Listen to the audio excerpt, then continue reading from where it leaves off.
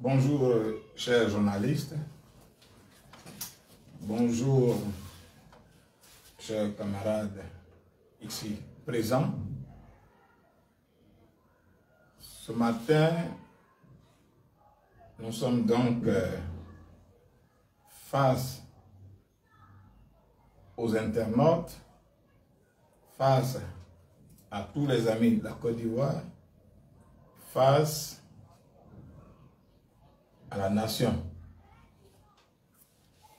pour donner notre position.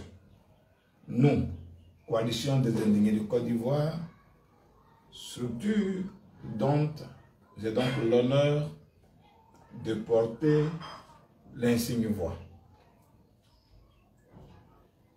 Il faut dire qu'il y a de cela deux jours, depuis la date, depuis le jour de lundi, notre camarade actrice de la société civile, que j'ai bien nommé Pécharé Balé, a été arrêté. Et transféré à la MACA, selon les informations, depuis hier.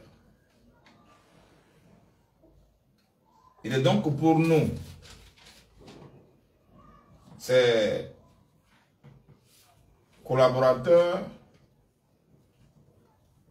de donner de la voix et expliquer à tous les raisons ou la manière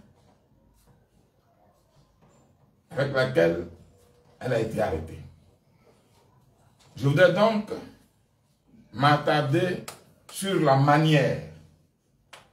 Les raisons seront données à son avocat pour expliquer les raisons de son arrestation. Moi, je parle de la manière.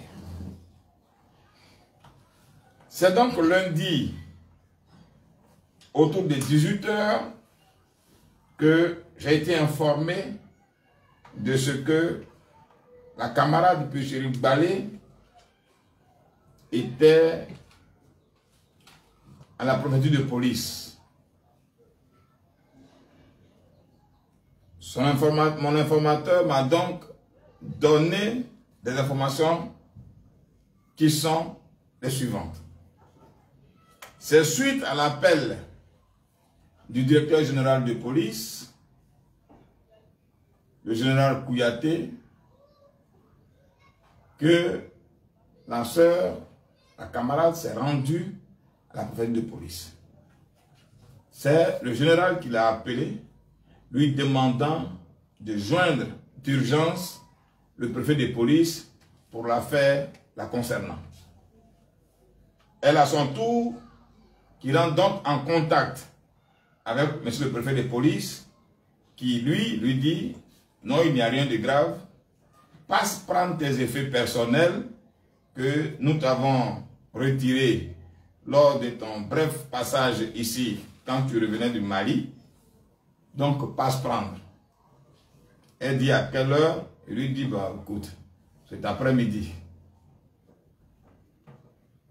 Ayant cru à la bonne foi de notre police, elle ne s'est pas sentie obligée d'informer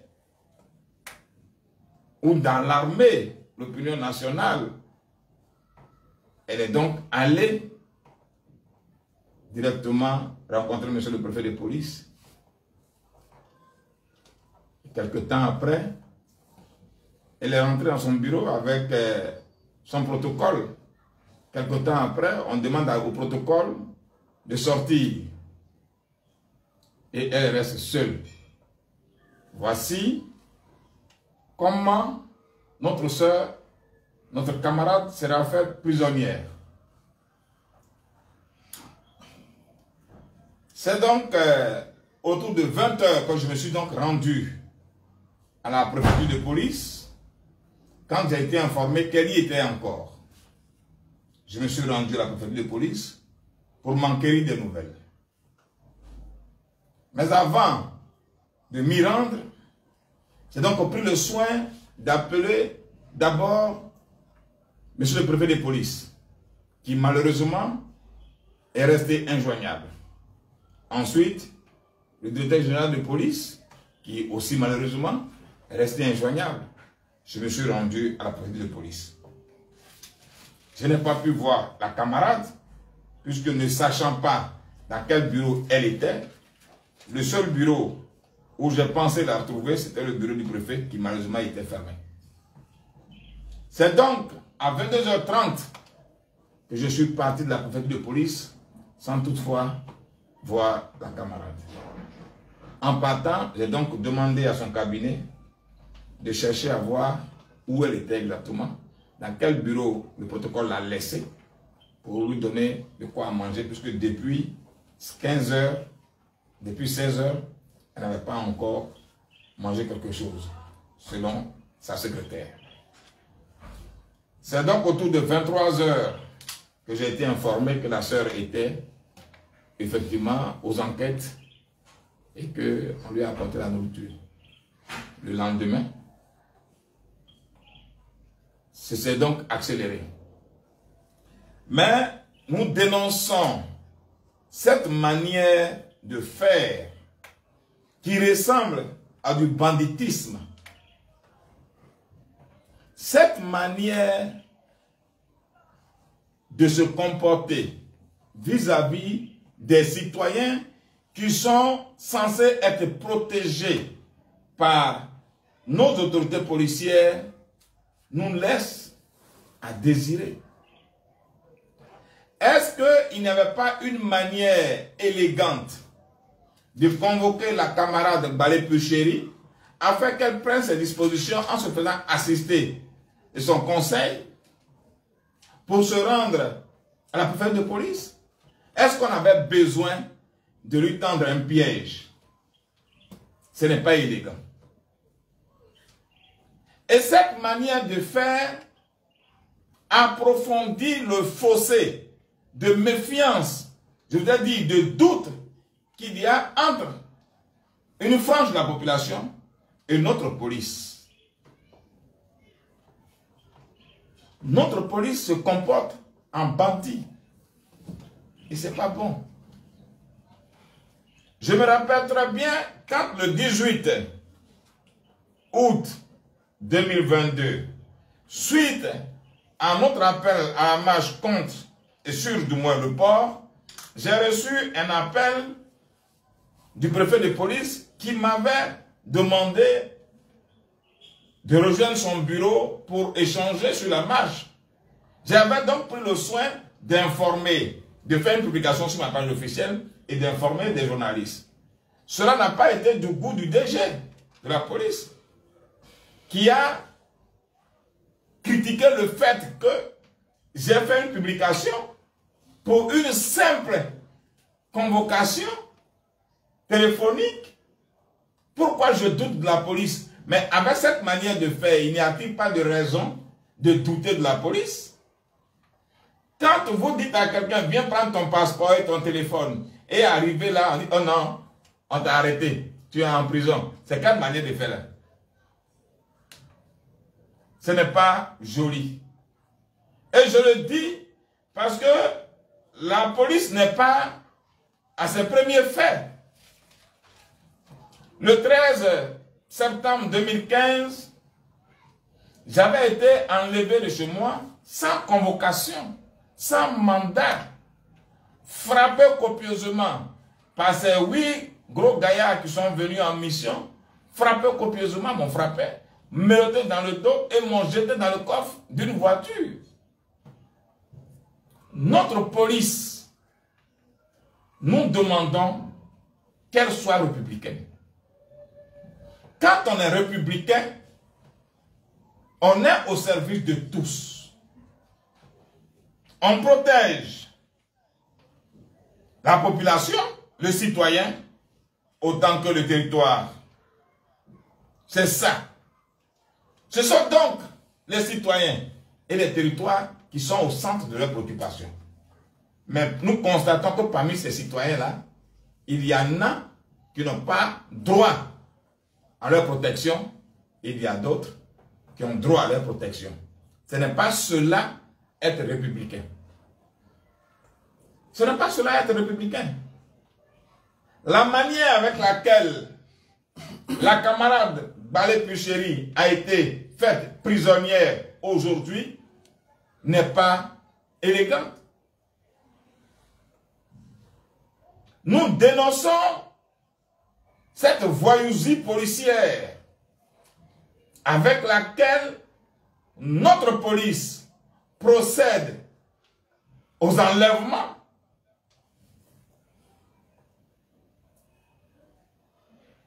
Est-ce qu'on ne pouvait pas adresser une convocation en bonne et due forme à la camarade Barré Pouchéry Est-ce qu'on ne pouvait pas l'appeler pour dire viens avec ton conseil parce que nous allons t'auditionner mais viens prendre ton passeport. Et elle arrive naïvement et elle est mise aux arrêts. Ce n'est pas joli. La société civile, la coalition des Indiens de Côte d'Ivoire, par ma voix, voudrait dénoncer cette pratique qui ne date pas aujourd'hui de notre époque. Il faut faire de telle sorte que le citoyen ait confiance en notre police. Il faut faire de telle sorte que nous ne soyons pas amenés à alerter tout le monde quand on est convoqué à la police, surtout quand c'est de, de, manière téléphonique. Parce que c'est téléphoniquement que nous sommes souvent appelés. Ce n'est pas bien.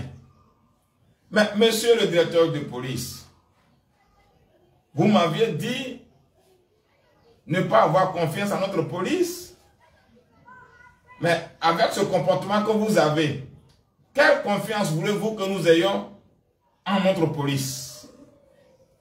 Ce n'est pas digne d'une police républicaine. Ce n'est vraiment pas digne d'une police républicaine. Tout le monde est passible de poursuites judiciaires. Mais il y a des procédures vous n'êtes pas à vos premiers forfaits. En début d'année 2020, un jeune a été amputé de ses deux bras à Bobo. Pendant que la police ne s'est même pas rendue sur les lieux pour demander comment s'est passé, comment sont déroulés les faits, elle s'est précipitée à faire un communiqué accablant l'innocent disant que c'est un brouteur, c'est donc un règlement de compte.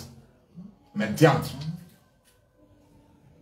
Même quand c'est un brouteur, il n'a pas droit à la vie. Et c'est après la police que la gendarmerie, la gendarmerie est venue faire un communiqué qui prend de contre-pied le communiqué de la police. Parce que la gendarmerie a pris le soin d'aller rencontrer la victime, ses parents, pour savoir la réalité des faits. Et toute cette précipitation était juste pour protéger le discours politique de feu Ahmed Bakayoko qui disait maintenant qu'il est à Bobo, maire d'Abobo, on parlera plus de microbes. C'était juste pour protéger le mandat politique d'un homme politique et livrer à la vindicte populaire un innocent. Aujourd'hui, l'élan de solidarité qui était fait autour de cette victime-là a baissé les bras et l'enfant reste aujourd'hui les deux bras amputés sans soutien. À cause de votre précipitation, à cause de votre partialité. Combien de temps Pendant combien de temps allez-vous marginaliser le peuple de Côte d'Ivoire que vous êtes censé protéger Pendant combien de temps notre police va-t-elle se laisser instrumentaliser contre les leaders d'opinion, contre toute personne qui ne serait pas, qui ne verrait pas dans le même sens que le parti au pouvoir?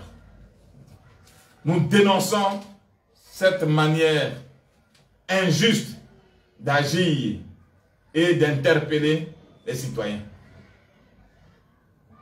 il serait souhaitable que notre police contribue à la cohésion sociale. Il serait souhaitable que notre police contribue à ressouder le tissu social très fracturé. Malheureusement, elle a choisi le camp de l'oppresseur. Et nous ne serons nous taire sur cette manière d'agir. L'arrestation de la camarade Balé Purchéry est donc l'expression d'un comportement qui les relève d'un grand banditisme.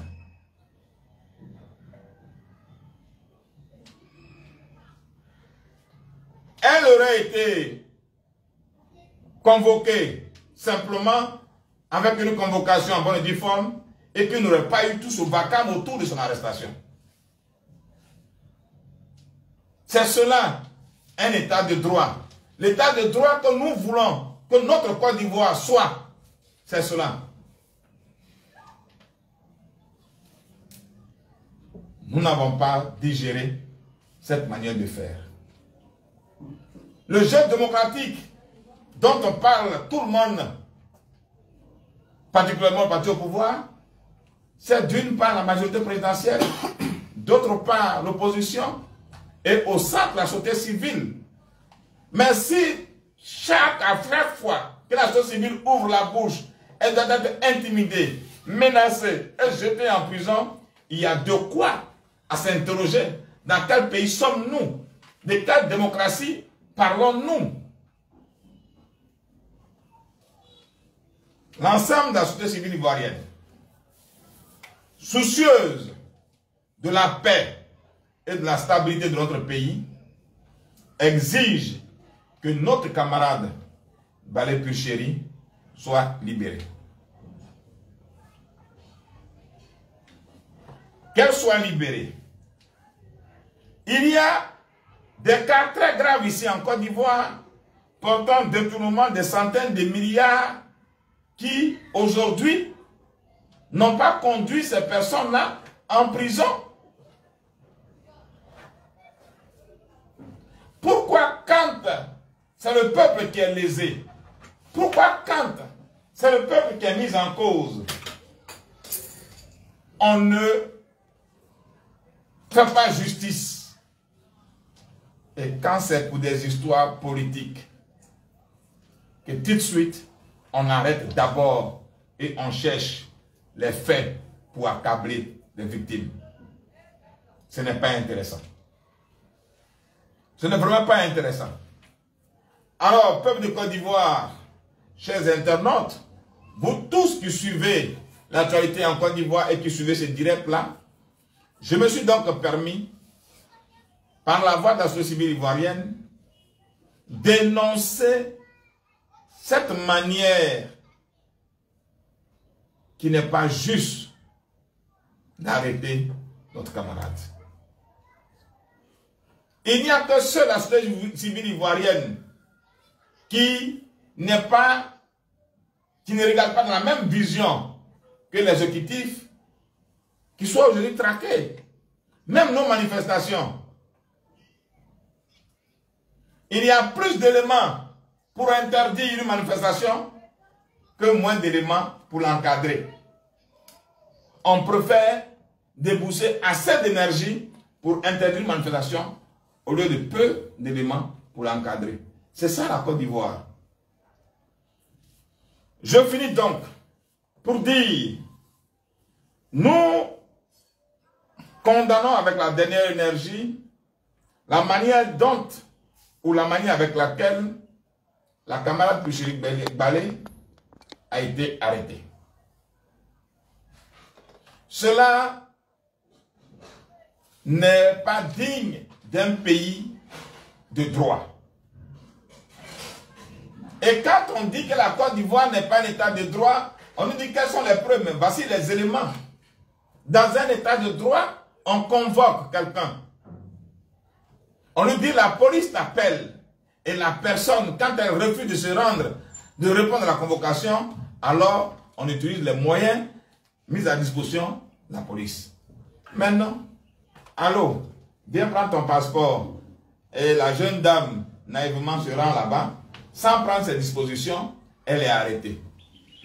Mais vous savez que les femmes sont dans des conditions où elles ont besoin de prendre soin d'elles à tout moment. Mais elle n'a pris, elle n'a rien pris. Rien, même de l'eau à boire.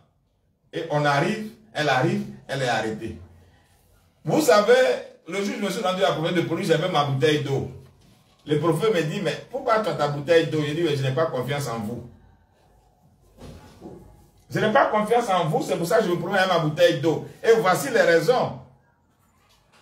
Voici les raisons de ne pas avoir confiance en notre police. Et c'est mauvais. Ce n'est pas intéressant. Ce n'est pas élégant. Ce n'est pas juste d'agir de cette manière-là. Voici ce pourquoi, ce pourquoi je voudrais donc interpeller l'opinion nationale et, internationale, lancer un appel à tous les organes des droits de l'homme, leur dire de se pencher sur la Côte d'Ivoire et comme nous, exiger la libération sans condition de notre camarade Balé Péchéry. Il y a dans notre constitution la présomption d'innocence. Il y a dans notre constitution la possibilité de mener les enquêtes pendant que la personne est en liberté. Comme c'est le cas de tous ceux qui ont détourné des centaines de milliards qui sont en liberté et pour lesquels on nous dit que les enquêtes sont ouvertes.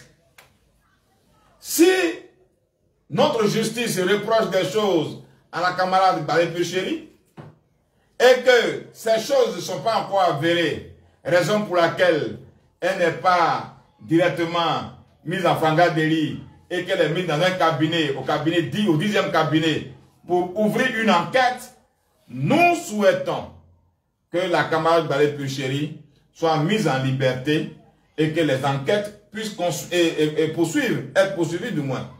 Parce que vous avez déjà en possession son passeport et elle ne pourra pas sortir du pays. Ce serait mieux et ce serait intéressant. Ce serait d'ailleurs juste pour un État qui se veut État de droit. Mais pendant que nous sommes tous mobilisés pour la libération de nos frères et enfants au Mali, vous en faites encore ici en Côte d'Ivoire. Vous faites encore des prisonniers. Mais qu'un Ivoirien soit emprisonné en Côte, eh, au Mali, qu'il soit emprisonné en Côte d'Ivoire de façon injuste, ce sont les mêmes prisonniers. Pourtant, vous dites pourquoi tout le monde ne se lève pas. Mais cette manière de faire qui divise davantage les Ivoiriens nous rend davantage plus faibles. Nous demandons donc la libération pure et simple de la camarade Balé Chéri. Je voudrais donc lancer un appel à toutes les organisations de la société civile de Côte d'Ivoire de rester mobilisées, de rester à l'écoute. Je voudrais donc lancer un appel à toutes les personnes qui suivent, ces milliers de personnes qui suivent la camarade Barré Puchéry, qui ont de l'admiration pour elle, qui veulent que la Côte d'Ivoire soit un état de droit, je voudrais lancer un appel à toutes les personnes éprises de paix et de justice en Côte d'Ivoire qui voudraient que la vérité soit rétablie dans notre pays, de rester mobilisés. Il est préférable de lutter pour éviter que les choses arrivent que de militer à critiquer. Plus nous parlons, plus les actes impairs se multiplient et l'injustice continue de prospérer.